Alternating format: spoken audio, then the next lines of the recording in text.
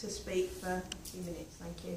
can I use, There you can I use this Yeah, one? Can I use my... yes. There you go. That's probably, probably okay. My voice is pretty loud anyway. If you hold the handheld close to your mouth, you. No, I think you can hear me now, can't you? Then you need it. Yeah. Right, use my hands. Thanks. Um, so yeah, my, my job is, um, I'm a London Assembly member, I'm also a Camden Councillor in my spare time, but my job in the London Assembly is I'm Chair of the Housing Committee and I'm also a Green that represents, I'm elected the PR, so I represent all of London and one of my sort of two main missions that I've had since I was elected a year and a half, no, nearly two years ago, um, is to try and sort out the complete mess of policies and, and issues there are around estate regeneration. It seemed to me like basically every single card was stacked against people on estates doing anything to challenge their landlords and, and didn't stop big uh, regeneration schemes that were, were demolishing their homes. And they were having horrendous effects, and there didn't seem to be anybody really sort of standing up. So I thought I would do that. And there's been some, there's some amazing campaigners that I've met, some amazing campaigners like on individual estates all across London.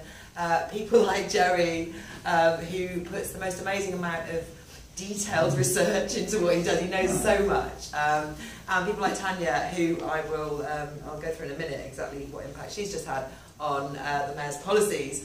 Um, I think um, just it's been really hard slog, and you meet so many people who are like, oh, the council are just going to do what they want. What's the point in campaigning? And they feel a bit ground down by it all. But I think in the last few weeks we've seen some, some genuine victories. Um, we, I won't go to the details of the, the Haringey development vehicle, but the campaigners there, you know, we they are unfairly being characterised as being like a faction of the Labour Party against another faction of the Labour Party, when actually that's an incredibly broad-based grassroots campaign that sprang up out of uh, individuals on estates getting together and thinking, look, we have know, this isn't a done deal. We can stop this. Um, and it's people, you know, it's people from all different parties. You've got Lib Dem opposition councillors, you've got Greens, you've got Road Labour councillors that I've been talking to for quite a long time, and then you've got people from the wider community, including the Pensioners Forum. You couldn't get a more diverse crowd than the people who are de defeating that.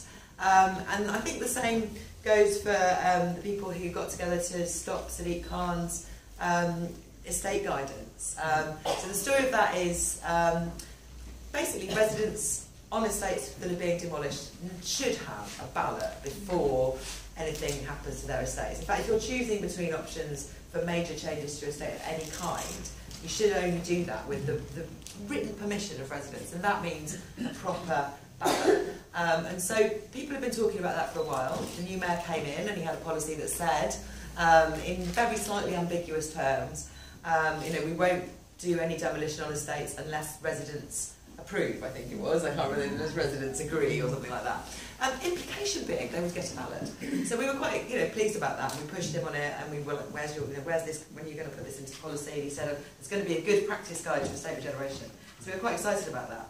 Um, and then this came out in December 2016, and this is the mayor's supposedly good practice guide to estate regeneration. It's not. It's a manual for people who want to go out and demolish estates without people's permission, as far as I'm concerned.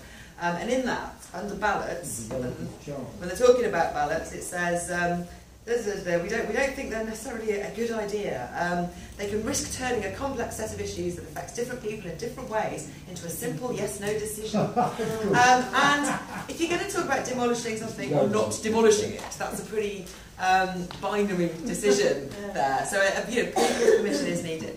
Um, so we were all pretty incensed by this. This seems to be breaking his manifesto pledge. Um, and, and a lot of people mobilised. There were lots of public meetings. Um, Demolition Watch produced a really handy postcard, which was really good. Uh, I got people together in City Hall who from different estates. Um, we tried to get people from different um, branches of our various parties to write in. Um, and the consultation document on this didn't even ask about ballots. Um, and then if you look at the consultation report, it's really, really funny because it says of the 2,000 people who, who did write in, um, 90, it's under miscellaneous under the headings, because there was no question about it. It says, uh, we put it here, here we go. Yeah. Of the 2,076 responses, um, 1,973 of these supported their mandatory, uh, supported mandatory use of ballots. That's 95% of people who responded to the consultation spontaneously saying they wanted ballots. So amidst like a growing, quite broad campaign, um, the Assembly where I sit, we did a motion in December. I put it alongside a Labour Assembly member, and everybody on the Assembly voted for it, and that includes the Tories and includes UKIP as well. Um, that is a cross-party consensus that there should be ballots, um, and therefore I think the mayor basically had no choice. So this is the new draft guide, uh, guidance for estate regeneration, which is basically says if you're going to get mayor's funding, you need to have a ballot, which is I think an enormous victory and a victory for people power. It's one of those things we thought, oh, he's going to try and get out of this, and nobody's going to raise a peep, and and he he did, he did the right thing. The thing about this is there is still a further consultation. There's a technical consultation on exactly to how to have the ballots. Um, and I think it's equally important that we mobilise and get some of the details in this right. Um, so there's a few things I just want to say. He says it'll, it'll only be for places with 150 homes or above. I think potentially that needs to be lower. Um, he says um, that he's, he's actually not that clear on the point at which you have the ballot either, or how much detail there needs to be before you finally sign it off. So that gives scope for having the ballot before the details and then sort of Yeah. sneaking bad details in. So I think we need to say that. He does say he wants the ballots conducted, and we all worry that councils aren't going to do ballots right, they're going to do it in a dodgy way. He does say that the Electoral Reform Society should be hired to do the ballots, which is that's top, that's a really good um, thing. Um, and there's also stuff about um, who can vote.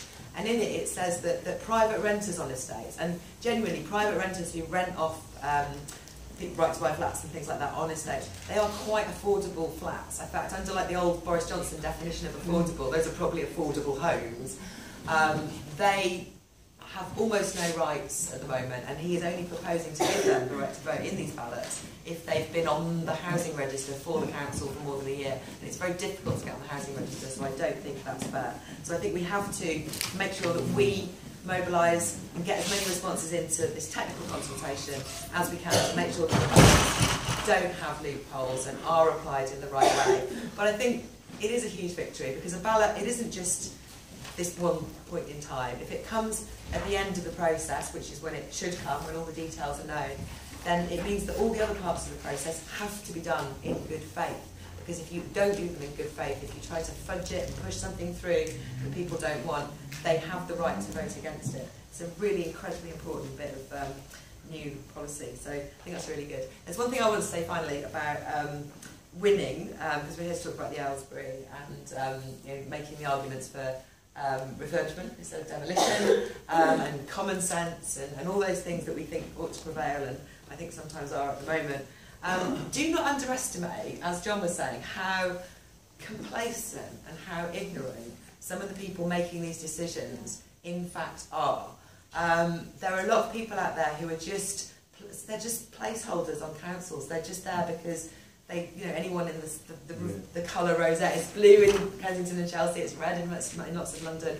But a lot of these people are not very um, expert at what they do, and they don't have details. And it's, it's you can be if you're committed if you're as committed as, as Jerry, but if you're just a little bit committed, you can uh, quite quickly gain more expertise than them, demolish their arguments, and actually win. Um, so don't feel like um, the people um, in power necessarily deserve to be there. You do have the power to vote them out elections, but also you do have the power to defeat them in arguments if you just do a little bit of, of work.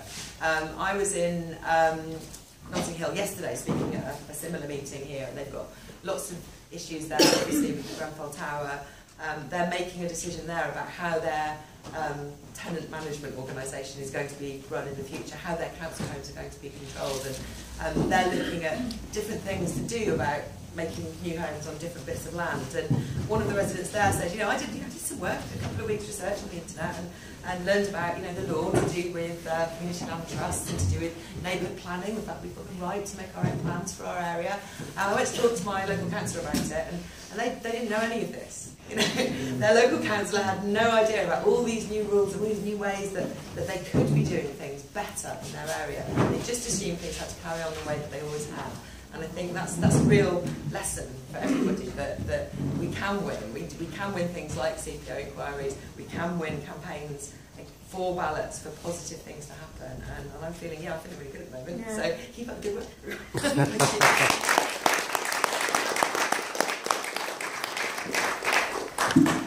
Okay, um, I'm going to um, ask um, for anyone who wants to